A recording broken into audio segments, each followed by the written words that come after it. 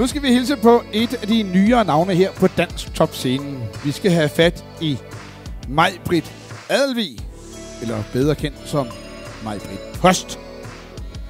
Majbrit, hun kommer fra Aalborg, og øh, hun er en meget alsidig sangerinde. Hun synger alt fra viser, danstop til country og rock. Øh, Majbrit har en sjælden evne til at underholde, og når hun optræder, og hun er derfor hun også er særdeles efterspurgt rundt omkring, fordi hun har det gode humør med sig.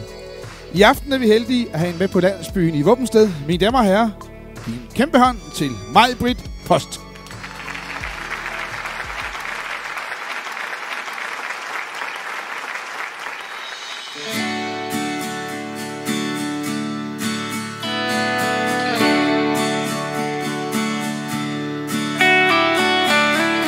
Vi i Nord er noget for os selv og jeg synes, det er et held hver sæson